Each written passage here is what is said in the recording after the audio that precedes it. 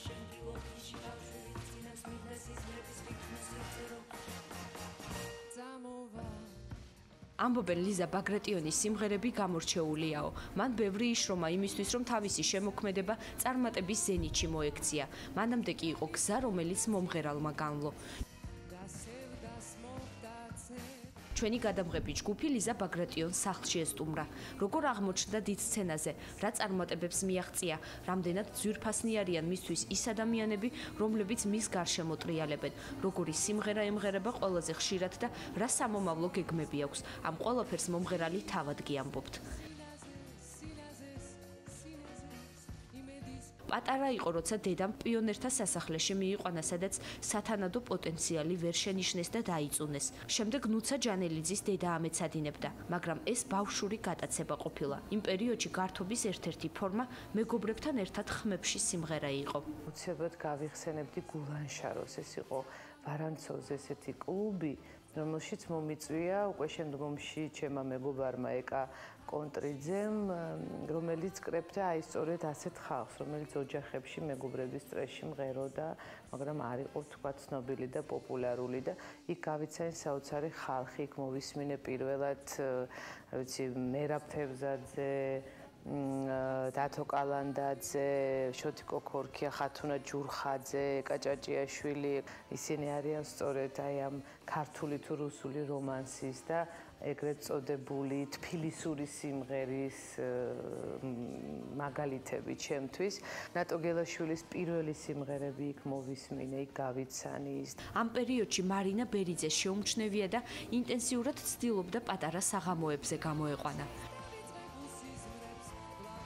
შემდეგ იყო ჯემალ სეფიაშვილის შემოქმედებითი საღამო. ბრავო მაესტრო, სადაც მომღერალმა მამუკა ჩარკვიანთან ერთად ის მუხამბაზი იმღერა, რომელიც შემდგომში პოპულარული და ყოველთვის საყვარელი გახდა. ზუსტად ამ სიმღერამ განაპირობა მისი სცენაზე დარჩენა. ძალიან დიდი ხანი ვამბობდი, რომ ეს არ არის ჩემი პროფესია, მე არა ვარ პროფესიონალი. ეს შემთხვევით მოხდა, ეს ბედის წერა, ეს ჩემი საქმე არ არის, მე მაპატიეთ რომ სცენაზე ვდგება, აი დაახლოებით ეს მიდგომა მქონდა. ჩემ ჩემ პროფესიის მიმართ, მაგრამ რაღაცა დადგა მომენტი, მე ფეგმსიმეთ გახდით, როდესაც ნუ ჩემი ჯანმრთელობის მდგომარეობის გამო დიდი ხანი სცენაზე არ გავედი და ისწორედ მაშინ მივხვდი, რომ ეს არის ის, რის გარეშეც მე თურმე ყოფნა არ შემიძლია. ასე ნელ-ნელა დიდ სცენაზე აღმოჩნდა. საქმეს უკვე პროფესიონალურად მიუდგა. მის გარშემო აღმოჩნდნენ ის ადამიანები, ვინც ყველანაირად უწყობდნენ ხელს, რომ მისი რეპერტუარი უფრო მრავალფეროვანი გამხდარიყო. შემდეგ იყო სოლო კონცერტი. რაც ყველაზე მნიშვნელოვანი მოხდა ალბათ ჩემ ცხოვრებაში ეს იყო სწორედ ის სოლო კონცერტი. რომელიც მუსიკისა და დრამის თეატრის ბაღში შედგა.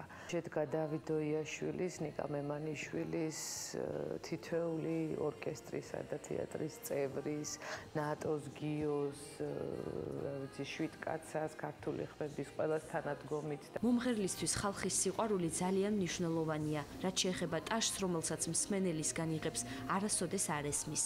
ტაში მე არ მესმის, რაც ძალიან ბევრ ჩემ კოლეგას ჩემი ბევრი ძალიან ბევრი ჩემი კოლეგა ვერ ხვდება რატომ იმიტომ რომ ყველა მაგას ამბობს რომ ადამიანის სცენას დგას იმისაც რომ მე ტაში გაიგოს მე ეს ტაში იმდენად ნერვიულობ როგორც წესი არ მესმის ხოლმე. ჩემთვის ყველა ძალიან ღირებული ქართული სიმღერა როგორც წესი არის სევდიანი აი ის ჟანრი ქართული სიმღერის რომელიც ჩემთვის ყველაზე ფასიურია როგორც წესი არის ლირიული და სევდიანი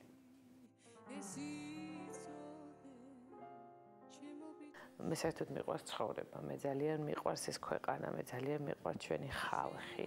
მე ძალიან მიყვარს ის საქმე, რომელსაც ვაკეთებ, ეს ღვინო იქნება თუ სიმღერა. მე საერთოდ ვერაფერს ვერ ვაკეთებ სიყვარულის გარეშე. კალბატორი ნონუ კაბუნიას შემოქმედებითი საღამო მზადდება ფილარმონიაში თბილისობისთვის. ამისთვის ვემზადები ასევე მისი სიმღერების, მისი სიმღერების ალბომი უნდა გამოვიდეს და ჩაწერაც მექნება. ასევე ძალიან დიდი სიხარულით და გულის ფანცკალით ველოდები კიდევ ერთ თბილისობისთვის ჩვენი ქალაქისთვის მომზადებულ საჩუქარს, რომელიც არც ვიცი ჯერ შეიძლება თუ არა ვთქვა, შეიძლება ეს სიურპრიზია და ამიტომ თავ შევიკავებ, მაგრამ ისევ და ისევ მექნება ურთიერთობა დავით დოიაშვილთან და ნიკა მემანიშვილთან, ორკესტრთან, საოცარ კომპოზიტორთან, ბატონ გოგი ცაბაძესთან და აქედან გამომდინარე თქვენ ალბათ წარმოგიდგენიათ რამხელა სიხარულს ველოდებით. ეს ლიზა ბაგრატიონის შემოქმედებითი ცხოვრების გზა, გზა რომელსაც მომავალში ახალი სიმღერებით უფრო გაამრავალფეროვნებს.